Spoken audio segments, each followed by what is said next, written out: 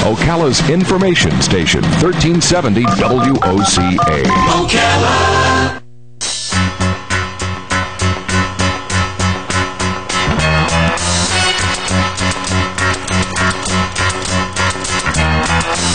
Out of bed and I stumble to the kitchen. Pour myself a cup of ambition. Yawn and stretch and try to come to life. Jump in the shower and the blood starts pumping. Out on the street, the traffic starts jumping. Folks like me on the job from nine to five. Working nine to five. What a way to make a living. Barely getting by. It's all taking and no giving. They just use your mind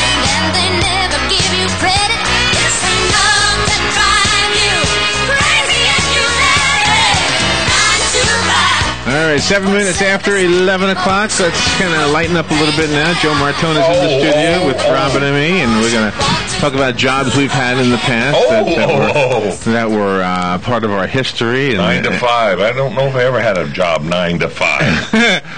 ever. ever. I, I don't think I ever have either, to be honest with you. Ever. Uh, me neither. It was little part-time jobs or full-time, uh, but it was never uh, nine to five. Bye. Yeah, yeah. No. That would be kind of a nice luxury, wouldn't it?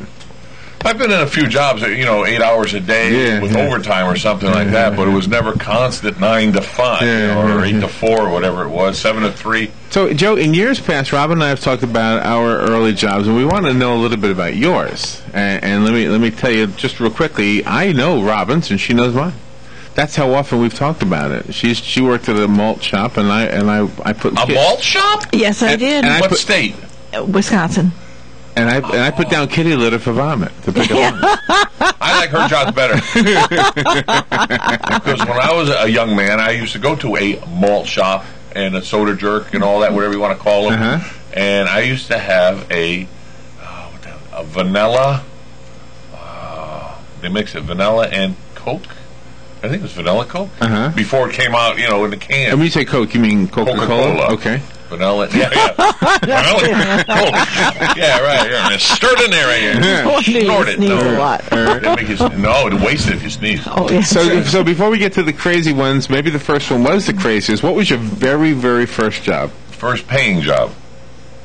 What do you mean? Did you have Well, something that didn't pay? Well, of course, you everybody worked for you know helps helped out and whatever. No, my first paying job was for my uncle Tony, Uh huh. Tony Priscelli. What did he do? Uh, he owned a grocery store. Oh, okay. it was a Uh, large grocery store or one of those little neighborhood ones? It was an Italian grocery store, small grocery Okay. store, Uh-huh. uh, ethnic logic when I said Italian, and he had everything imported from Italy oh, wow. uh, via New York. Uh, you know, Genoa salami. and where was it? Where was it? It's New Haven, Connecticut. Okay, Up in okay. New Haven, just right outside of Yale. Uh, matter of fact, Yale kept in, how do you call it, encroaching uh, on the property. Finally, he's, he had Oh, really? he had two properties. He had around the corner was the warehouse, and then on the main street, quarter of main, uh, I guess you want to call it a main street, a street where his his uh, main market was. And did they ever take over the property? Yeah, he took over the market, and then he moved his business into the warehouse and Uh. worked out of the warehouse kind of thing. And then finally, they bought the whole lot, and the whole lot, stock and barrel out of there. Uh, but it was many. so, many, what was your job? What did you actually do? Uh, chief cook and bottle washer. I, Uh-huh. I, I stocked and I, uh, uh, you know, packed ro- groceries. And you build Roach groceries? Groceries. Yeah, a lot of ro- ro- no, groceries. And uh, I learned how to do it in boxes. You know, we get a small box, and you'd be surprised how much groceries you can get to a small box because you turn the cornflakes sideways and you put the spaghetti box of spaghetti sideways and you make like a wall all the way around Right. extend it above the box. Then you kept going, you keep going higher and higher. So when you finished one box, it's almost like a box and a half. Uh-huh, uh-huh. And of course So you had some. Now, now, looking back, and and Robin, this will go for you and myself as well. Do you feel like in those first jobs you had a good work ethic? Oh, definitely. Oh, You did? Don't don't steal. Watch. And there's stories where I have actually caught shoplifters. Oh, wow. And turned them into my uncle, and he just he just gave me the nod. I went the other way, and they they took care of them. Ah. Oh yeah, really? Yeah. Oh, wow. There wasn't, there wasn't a police back then. They took care of them. Oh wow! What they do? What they do? I cannot say, but they didn't come back. Ah. They didn't come back in that store anymore. So what you? So you would say, "Hey, Uncle Tony, what was it? Uncle Tony. Uncle Tony, I just give him the eye and give him that guy, that guy in the spaghetti I aisle." I'd have to even do that. I just Nothing. gave him the nod in the eye, and he knew exactly what I was talking about, and that was it. And what, the, like, what would you witness? Somebody like stuffing Yeah. spaghetti in their pants or something? Not that gross. No canned goods, something like that, or after they had meat cut because it was a full deli, right. and he would cut the meats in the deli, and all of a sudden the guy would walk down the aisle with the package in his hand. He walked back, and his hands would be no package anymore. Oh. Where did it go? Oh. Kind of thing. Oh, so they didn't. They didn't pay for it at the counter. They had to pay for it at the. Uh, No, no, they paid for it to go out the door. You know, I know they didn't pay for it at the counter where it was sliced. You could continue shopping. Okay, I got you. And when they continued shopping, they would have their little. So you thing. saw somebody pocket the bologna, Uh, yeah. Okay. Well, it was, it was, And- it was, uh, yeah, whatever. and you gave the nod, and Uncle Tony said, "Don't worry Thank about you. it." Don't worry about. it. I'll go do it in the store. Because he didn't want. I was only 14 at the time when I started. Oh wow! So he said, you know, I was young. So he said, no. I would love to have heard. I would love to have heard what was said. Well, most of it was in Italian, so forget about it. Well, I'd love to hear the translation There then. you go. But one of the Hey, you got bologna in your shirt? No, but I got salami in my pants. Yeah, yeah, but won't. Is it hard salami? I don't know. but no, then uh, there was one time I carried a, a box of groceries, Uh-huh. and uh, these are true Italians that buy everything fresh. Right, right. So I went to go outside, and the man opened his trunk Uh-huh. of the car, Uh-huh. and I almost dropped all the groceries because in the car was this chicken running around like crazy. Oh wow! he just man. reached in, grabbed it by the neck, and said, "Okay, put the groceries down." You know, that was going to be their chicken for the night, you know. And he just threw the chicken back in and slammed the door, slammed the nice. trunk back down. He said, "Okay." That is the way some some grocers were back then. It wasn't that long ago, really, when you would buy a live chicken. Oh yeah. So he bought the live chicken. There was a, Yeah. but uh, we used to get the olives from Italy in the big barrels, and you get the big scoops. And you Oh, scoop it out. and you- Oh, yeah, yeah. Except he had the, like I said, behind was his warehouse, where he kept the olives and everything, the big key and the lock, and he would. All right, Joe, you got to get some more. We're low, so I get the small container. I go out there, and I put it in. And By the time I'm done in the wintertime, your hand comes out blue. Because you're in there with the ice cold water and the ice, you know. Oh, my. Oh, sorry about that. Hey, you can tell my Italian's coming up, hitting everything one Yeah, way. yeah, yeah. So, so did you work for anybody after that that was not a relative? See, if you're working for your relatives, you're going to have a good work ethic, and don't only about stealing. That that's kind of a given. But I mean about, like for example, I had a couple of jobs Uh-huh. that I didn't work very long, and I said, okay, I don't want this job, even though I was given it. I, I had this attitude, I can get another one, and I would walk away. Uh-huh. I, I had a grocery store job, uh, Yeah, yeah. and and um, I wasn't there even a week Oh, and I, and I left. You I, left it. I just left. I didn't say a word to anybody. I never even went back to pick up whatever little check would have been there. I just could not stand what I was told Oh. to do. So. Yeah, well, and the happens. people were not. Looking back on it, Yeah. the, people were nice and everything, but I just had it this wasn't, wasn't your cup of tea. attitude or whatever. Yeah, but if I had a better work ethic, I think Well- I would have at least been what, what con- Courteous? courteous, There you go. and Yeah. said, you know, I know you hired me, and I appreciate that, but I, it's not my thing. Not my thing. Yeah. Well, I've done, let's see, uh, ice skating, uh, rink attendant. You've uh, been ice skating yourself? Rink attendant. Oh, yeah. Oh. What's that job? What do you do? I, ice skated on the 12 hours a day. I loved it. You just ice skated? That's what I did. I just uh, ice skated around hockey skates. So can never, I can never put on uh, uh, figure skates. Toe pick, bam. so I, I went to hockey skates because I, always- I had a, I guess you call it lazy foot. I would drag my foot all the time, and uh, I would just So what was your job? keeping everybody in line, and then I gave uh, skating lessons. Really? Oh, nice. Never knew this about you. Didn't How old were you that when you were about doing you. this? High school, High school. high school, yeah, Oh wow! Did you meet a lot of girls that way? high school. Yeah. I bet he Yeah, that's a yes. yes, high school. Yeah. High school didn't tell you that. The smile told you that. Yeah. Yeah, it- it- For the listeners, like you could tell that from the smile. It was it was a, it was a good time. It was a good time. We we skate. I skated a lot, and then Vietnam came. You know, I graduated Yeah, from high school yeah. right to Vietnam, so that took care of that. But yeah, it was, and the uh, rink manager was his name was Dick Benito, and he was also the coach for the New Haven Blades. I think he called. They were Well, that would make sense, right? well, it's a big the big hockey team in Right, Haven, right. the professional hockey team. And once one uh, evening, my skate, what they call blew out. In other words, the leather just let go on the side. Oh. And I said, I can't skate. And he said, What size you wear? I put his skates on. And it was like putting a pair of professional super deluxe. I mean, you put the blade down, and where you put that blade down on that ice, you were there. Oh, wow, I wow. mean, very, very sharp. Now, did that carry over into your service? Did did your other soldiers like use that as a nickname? Hey, skate boy. Did anybody call you that? And live? No. he would have been 27 next year. No. Or just skate without the boy? No. Hey, skate. Skater. No, th- That'd be nobody. a cool cool nickname. Well, Skate. believe it or not, when I was in the service um, and stationed in San Diego for a very short time, I would fi- wherever I went, San Diego, uh, Fresno, wherever I went in the service, I found an ice skating rink, and I used to go on weekends to go ice skating. and do you Oh, still do you still do it to this day? Uh, no, No? I haven't been skating in years. But I bet you could. I bet it's like second nature to you. Forward, yes. Backwards, no. I'll never go roller skating. I can't roller skate. Mm-hmm. Believe it or not, I'll bust, No. butt my butt anytime. All right. Well, I, I want to know more another about the skating, but I want to know Okay. more Yeah, about the this is job. fascinating. Labor did Sorry, I, I digress into that. All right, well- well, that was one of the great. jobs. That was one of the jobs, yeah. Why don't you know? I have uh, a, a hockey connection because of working at the Nassau Coliseum. There you go. Yeah. Although I never skated. You've never been on ice skates? Yeah, but we have to have strong, strong ankles. yeah, I wasn't good at it. But but yeah, but but I was there. I was just to watch them as well. Oh, yeah. Oh, I can't do. I can. I can twist and turn. Forget about the jumps or anything. But uh, Oh, wow. Back then, Were there people like training? Did did they come to the rink when nobody else was there in case on- they were on a training for Sunday the morning, Olympics or On something? a Sunday morning early, we just had one gentleman.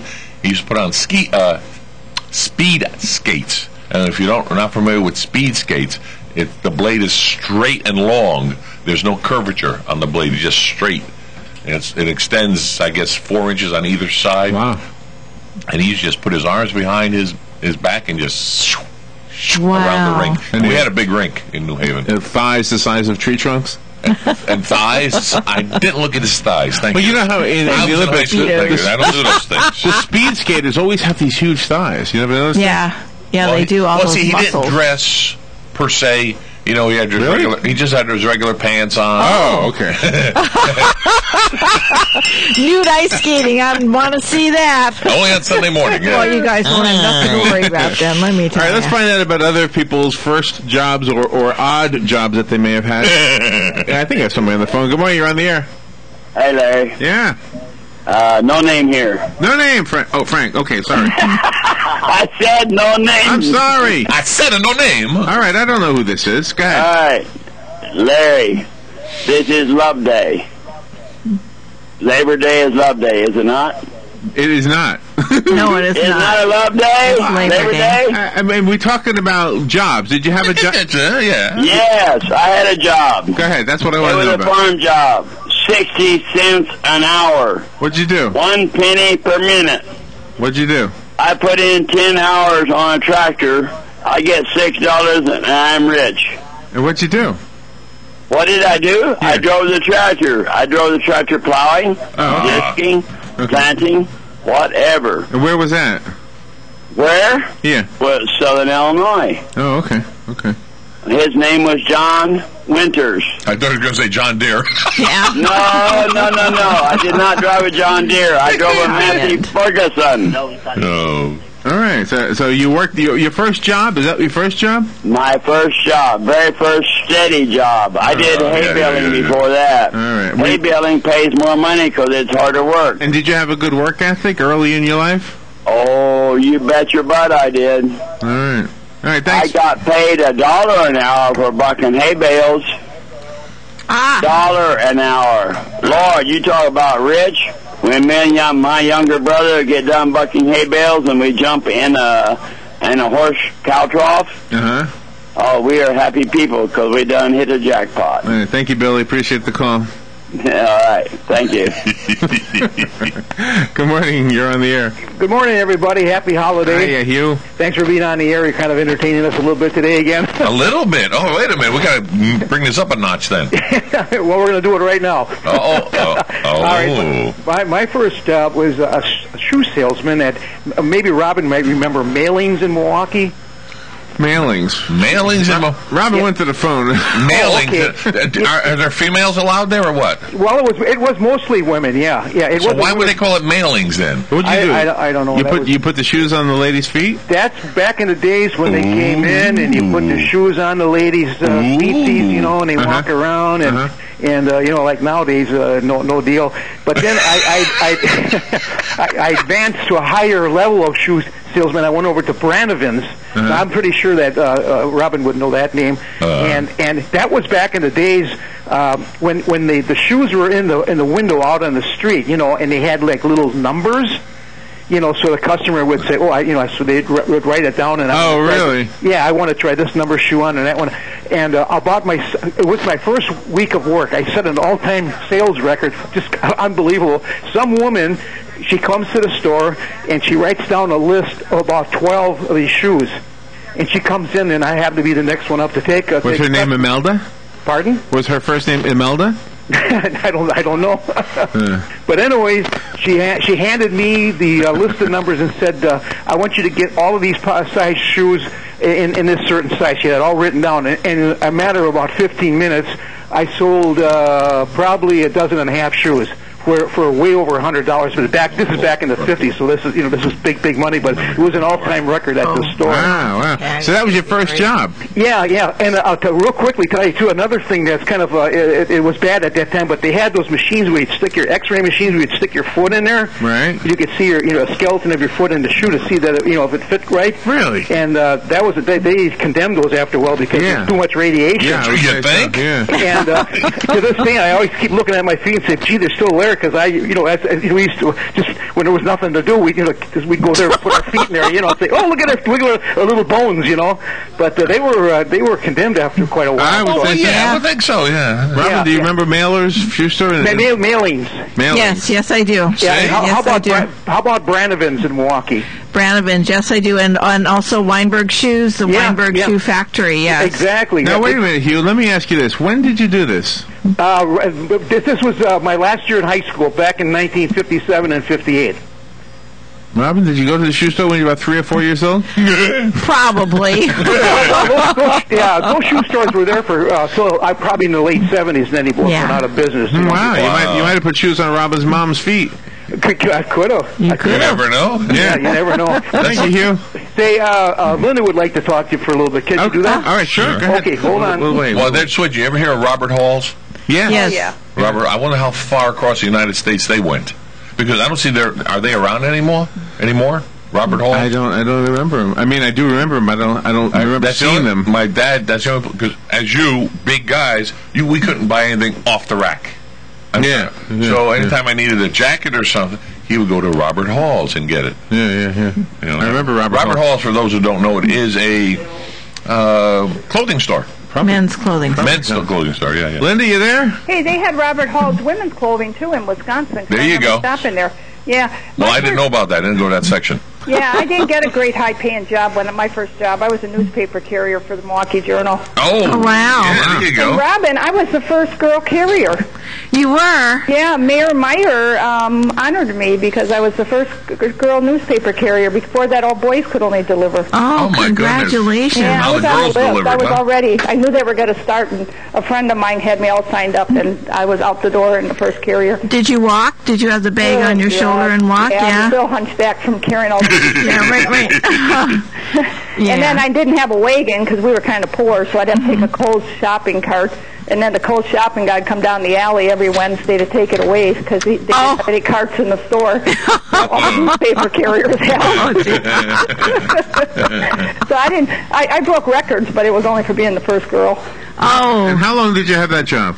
You know, I worked for the Milwaukee Journal from the time I was 13 till I was 21. Oh my goodness! Wow, that's a Yeah, I Wow. became a station captain. I don't, know, Robin, if you remember the old tin shacks in the alley. yeah, I do. I was, yeah, I was a station captain. I used to I put do. the papers together. Well, that's a lot of And then- shopping carts. Yep, and then and then I became. I went to school for printing, and I became. Um, I got a degree in printing and publishing from MATC. oh, nice. And my first job was at a printing company, and I didn't know a lot about it. I didn't do a lot of history on it.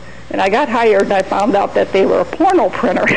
oh, wow. But they also printed Disney magazine. Of course. And Good House Cooking. so on, on Friday we did Hustler, and on Wednesday we did Good Housekeeping and Betty Crocker.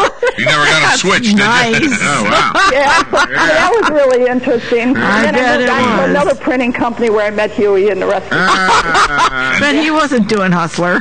No, he, he wasn't at the porno printer. He was at the one that did school textbooks. Wait a Darn. Did you bring did you bring him samples? I didn't know him then. This was Ah. in the beginning of my career, and you know, Oh, when. I first started, it was just great. I got working at a good printing company with good pay and good Ah. benefits. Yeah, but it was fun. Okay, well, it was interesting. Thank Oh, you, Linda. nice. You have a great day.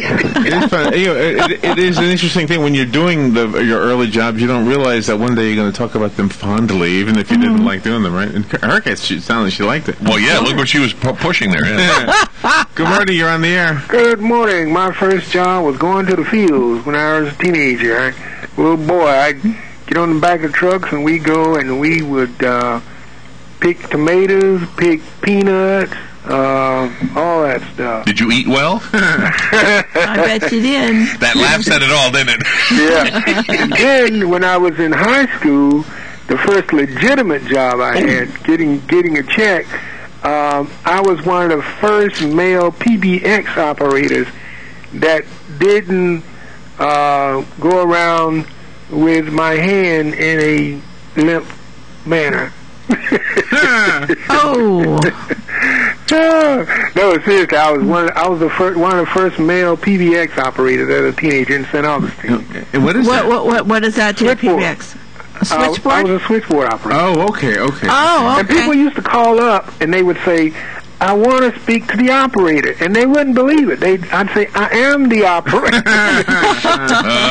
but they would, they didn't believe me, you know, because they weren't used to it. Oh, wow, A wow. male voice, yeah, sure, Yeah. sure. Now, Have a good nowadays, Yeah, that's yeah. right. You know, they just, yeah. Back then, it was always a lady, right? Mm-hmm. Yeah. Good morning. You're on the air. Good morning. I'd like to remind Robin, Linda, and Hugh the Milwaukee Journal has joined with the Milwaukee Sentinel. It's become the Sentinel. It's worthy of with other similar publications at the checkout line of a supermarket. Ah. So if you put them all together, what do you call them then? Gentinal. The Gentinals. Oh, I thought There it was go. Gentinals. I'm sorry. And my first job after raking leaves and shoveling snow and cleaning gutters and such was as a dishwasher at a restaurant. Oh, oh wow. Yeah, interesting. Oh, he just hit on a, on a on a note. What's that? My first paying job was shoveling snow as a kid. Uncle Tony didn't pay you? No, this is before Uncle Oh, Tony. before Uncle Tony. The kids used to, we, five or six of us used to get up, get together, Right. and we shoveled walks. And that's that Well, about was- three of us And that was entrepreneurism. That's right. You did it yourself, right? Well, one guy picked us up and said, I'll pay you by the hour. We did one job. He said, this isn't right. Ah, Oh, well, yeah, because you get, you get paid more by the job than you do by the hour. yeah. Right. So we did one job, took us one hour. He said, "Give us our pay, we're out of here." Mm-hmm. And we got it. We left. He- This guy, no, no, no, no. We got paid. You got paid by the job. You get more right, money. right. yeah. Good morning. You're on the air. Good morning, Larry, Robin. This is June Hi, June. Joe. Good morning. Good morning. Good morning. My first job at 12 years old was picking tobacco in Connecticut Valley Tobacco. Oh wow. Connecticut. That's right. Do you remember that, Joe? That's near Hartford. Yeah, yes. Well, it was. I worked for Consolidated Ca- uh, Cigar and General Tobacco, but I know they're not there anymore No. because they farmed all their tobacco out. I used to go up to uh, towards Agawam, Massachusetts, uh, down Route Five in Connecticut. I guess it was. Yes, I mean that was amazing. That was uh, 12 years old. That's when I started Oh, to my work. I did goodness. that for two summers. You could get your social security card to go do that. I guess there was a uh, an age, you know, an age limitation then, but 12 to 13 you could do that, and it was the hardest work I've ever done in my life. Mm. And Oh, mo- really? Most people don't equate Connecticut with tobacco. Yeah, right, right, That's right. that's right, and I that's what made me realize at that young age that I I would never want to end up doing that all my life because there were a lot of people that were older that were doing that that didn't have any choice. Did you ever did you ever roll the leaves and smoke them? Didn't know. I never smoked in my whole life. No, no. Just wondered. Wow. That was probably one of the reasons. Yeah, maybe. yeah, yeah. Oh, well, Anyway, it was it, it was piecework only. It paid ten cents a bent, and a bent was about a quarter of a mile long, and you had to string each tobacco wow. Oh, and up over a wire. Yeah, Oh wow. and then there was maybe 40 to 50 uh, bench in a line. I mean, it was really, really hard work. Oh yeah. I just, I just remember driving down the road and Lot seeing the, seeing the tobacco barns full with tobacco drying. Yes, the tobacco drying and also those big shade things they used to put over the uh, the uh, tobacco when it was growing up. It was an amazing experience. I'm glad I did it though because it really got me ready for life. That's right. There you Yeah, go. That, that's, it's, it's almost like it's ordained. We have to do these jobs first. Yeah. I agree with you. Well, you guys have a wonderful Labor Day. Thanks for coming in today. Aha. Thank you, You're Jim. welcome. We're always here. By the way, Ed McMahon, before he came, he made a career with his voice. He actually started out as a carnival barker. Oh, now that did. is cool. That's pretty cool. Good morning. You'll be the last call for this segment. You're on the air. Well, good. It's always good to be last. the second mouse always catches the cheese too. So, Oh yes, yes. well, I can remember as a, a child when you talk about the first job. You're talking about a first job where they actually gave you a paycheck, took the Social Security out. Because I lived in a small town up in northwest New Jersey near the Delaware Water Gap, and as a teenager, the only jobs that were there, you worked on farms hauling hay and stuff like that, which they used to pay you cash. They gave you cash and all the root beer you could drink out of the cooler, you know. But um, um, I also was a mail carrier, like some of these others called in here, and I had the monopoly on the little town of Johnsonburg, uh, which had probably both uh, entrance and exit signs of the town on the same post. It was that small, but but I had my bicycle and I had both the newspapers, the Easton Express and the Newark Star Ledger, that I delivered. So I would have two bags and my bicycle and go from about it was about a three mile type thing in town there from the extremities of where I delivered. But I had to collect my own uh, paper things every week. I had to get uh, paid by the by the people. Not now where you just send it into the to the Ocala Star banner and the carrier just puts it in your box. And had to go down and collect. And when I went to pay at the end of the week, I had to pay for all those papers. So if I didn't collect, so it caught me a, it taught me a responsibility. But my first job that I got paid was with it. It was in a, a blouse manufacturing company called Martin Manufacturing, which I went in there every day after school and blew out the machines and cleaned the ladies' rooms. And what a great first job! It taught me a lot. I never wanted to be that again. Ah, there's a theme going here. Did you notice that? Yeah, getting up in the morning and going to a farm and cleaning out the cow drops uh, by hand and coming home By hand? before, by well, with a pitchfork and, and thank didn't you. have the cow the cow cleaners or the, the drop cleaners. And my mother would make me strip down naked on the porch outside Oh, yes. before I go in the house because if you didn't, it just stunk up everything. So Sure. that was that's how I, I got my first job. So um, there are jobs out there if you really want to work for them. That's Some it. of them you don't want to talk about, but uh, if you want to work and make a buck, like I was, we were poor, so um, we wanted to, to do whatever we could to help the family. There you go. Wow. Yeah. There you go. Good, good story. Thank you, Bob. Okay. Appreciate the call. Yeah, and, and uh, yeah, and there is a theme. It sounds like uh, it's almost like God says, "Okay, in the beginning, you're going to do a terrible, terrible job, a job you don't really like, or or at least one that you realize is not a good idea for the Well, rest as the of your caller life." her calling, it reminded me of little jobs that I had. Uh, new little things like on Sunday mornings, if some this kid I knew couldn't do the newspapers on Sunday morning, I would be in front of church hawking the Sunday paper as, as the Oh, really? parishioners came out. Yeah. Oh wow.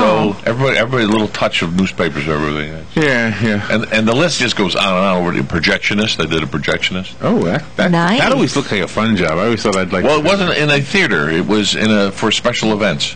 that. For, Oh, It was okay. for an, an outing, uh, outdoors uh, event, and they had these like six or seven movies that I kept rotating during the whole, Oh, okay. like an expo, but it was a big one in a big arena. Well, Joe, we, we've got to take a little break, and then we're going to come back with you. Oh, okay. And we're going to have fun with you. Uh oh. Although I don't know that we're going to do what we normally do, but let's see what I can. Is there ever normal? Yeah. Let's see if we can squeeze them. Right now, Butch Green is coming up. He's the owner of Green and Growing Organics. He's going to tell you how to grow healthy food and how to get the supplies to do it and uh, eat healthy, live healthy, and be your own provider uh, of your own uh, vegetables, I guess. Your own destiny. Yeah, your own destiny. Yeah. All right, we'll take a little break, and uh, Butch Green is up next, and then we'll have fun with Joe. In specialty crop news on the Southeast AgNet, well, according to Lonnie Ingram, professor of microbiology and cell science at the University of Florida, The Stan Mayfield biorefinery pilot plant in Perry is on schedule. We're very excited about the progress at the Perry plant. Construction is more than 90% complete. We're in the commissioning phase, starting up each of the individual systems, and are happy to report that all systems are go. There's one last piece to be installed shortly, and we hope to be uh, up and operating uh, within the next month or two. And when that happens, researchers hope to test a wide variety of feedstocks. Perry is not a production facility. Perry is a research and development and modest modest uh, demonstration facility so that it it's designed to really develop new technology and to push the envelope forward. And Ingram says some of that technology includes testing, refining, and improving processes to make a variety of products from renewable sugars. Those sugars would come from woody materials. The products include fuel ethanol as well as chemicals that can be converted into plastics that have higher value. Ingram knows of the success of the project so far is thanks in part to the partnerships between academia, industry, and government. We've had great people to help design and engineer this and to work with us in the construction, and we're just thrilled to have the opportunity to continue to develop and improve technology and processes to attract industry to Florida. The Environmental Quality Incentives Program, or EQIP, is a continuous sign-up program allowing landowners or operators to apply for financial and technical assistance for many types of conservation practices. And you